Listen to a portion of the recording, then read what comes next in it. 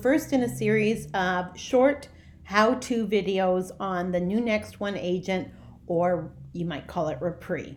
So this one, I'm going to show you how to log into it and a couple of housekeeping items that you may want to do before you start using the system. So I suggest you open up your Google browser. This software works much better on Google than it does on Internet Explorer or um, Safari. You're going to go in and you're going to type in in the browser line repree.com. It's going to open up the Nexone um, new Nexone agent uh, information page. You're going to go up here to the right hand corner and click on login. The login page will come up. You don't have to worry about hitting a RIA or anything like that. You're going to put in as your username your email address. And instead of using the at sign or the um, dot, you're going to use dashes. So it would be your email address, mine's lmarks dash sutton dash com. And that actually differentiates which system you're going into of Nexone. You would use your email address as an email address if you wanted to go into the old Nexone to take a look of any of your documents that you have in there. So we're going to log in username lmarks-sutton-com password. If you don't remember your password, no problem. Go down to forgot my password. It's going to take you through some steps and allow you to reset a new password.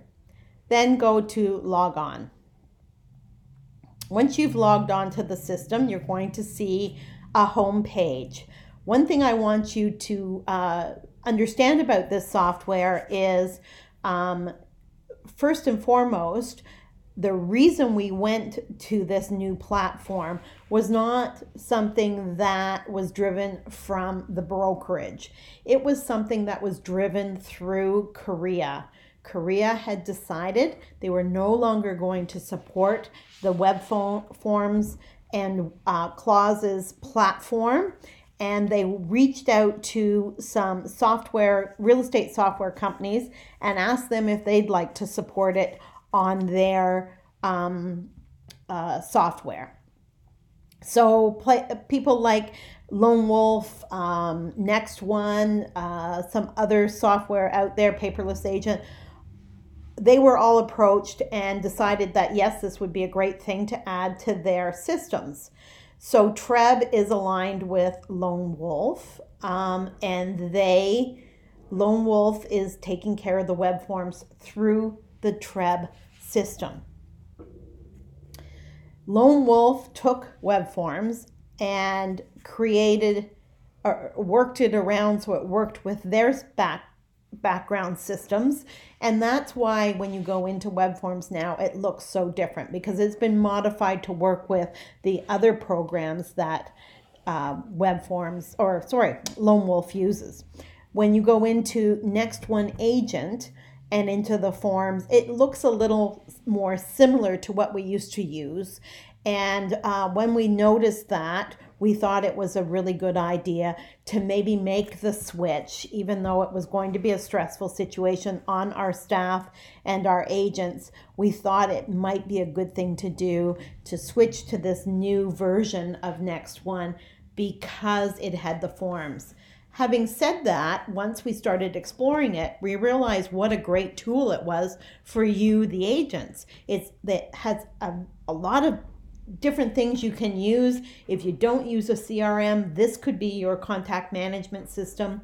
Um, this is more an agent centric software as opposed to the old Nexone was basically a broker centric software. So this has two components. It has the agent front end, which you guys will be using, and it allows everything to flow through nicely to the broker back end of this software. So having said that, I'm going to show you a couple of housekeeping things that you may want to do before you start using the new Nexone agent. First of all, you're going to want to go into the where your name is. There's a little arrow. You want to click on that for the drop down menu. Um, if you like to use um, DocuSign as opposed to the e-signature program that's in Nexone, no problem. I'm going to show you how you can connect that to your platform of New Nexone Agent. You're going to go under your name and you're going to click on Account. And under Accounts, you're going to go to Integration. Under Integration, you're going to cl- turn off, uh, if it's not already turned off, your Ratify by Repree. And then you're going to click on DocuSign Integration and that's going to ask you to link this pro this software or program, this platform to your DocuSign account. So when you go to do e-signatures, once you've assigned or linked to your DocuSign account, sorry, your um, ratifying or your e-signature will be done through DocuSign. So that's quite a uh, interesting thing eh, if you'd like to do it. You can also um, drop a picture in here. So if you had your business picture, you can actually drop it in there and it would be on your platform as well. You could add an address book in here. If you had a, uh, a CSV file, you could put it in here. You can also create an email signature. So if you wanted to put your contact information in there, maybe your logo, maybe a picture of yourself, you can add that in here. And every email that goes out through this system will have your email signature in it. So that's your basic housekeeping. Also, under your name, you're going to see uh, the word support. If you click on that, there is a whole variety of videos or FAQs on every aspect of this software, stuff that I haven't even been able to explore at this point. They've got everything from getting started, the general information, how to use e-signature, how to deal with your um, documents and forms, the things you can do with your con- client managers, the things you can do to manage your clients. I apologize. How to use the calendar, how to set up activities, how to deal with your transactions, teams and sharing, and it goes on and on and on. So there's all kinds of uh, learning um, topics in there. I will be exploring them myself and sharing with you some that are are exciting that you might be interested in. Last but not least, if you need to talk to somebody, you're having problems with it, always feel free to give me a call. I'm very happy to help you with any of your questions or concerns, and very, very happy to help you walk through some of this um, because it's new, it's different. And even if you've been to training, the next time you open it up, you're going to go, "Oh my gosh, what, what? How do I do this again?" I understand that, so please give me a shout, and I can walk you through it you can also give your one of your managers a call. All of our managers know how to use the system and they can walk you through it as well.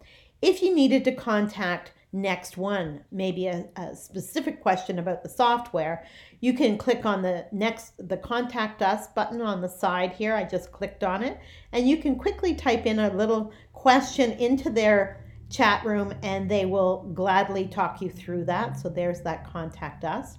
And there's also a question um, one where you can actually qu- um, go for help uh, through the question mark. Anyways, that's all I'm going to show you today. It's just a quick overview um, on the housekeeping and how to actually access uh, the new Nexone. We'll talk to you later. Bye now.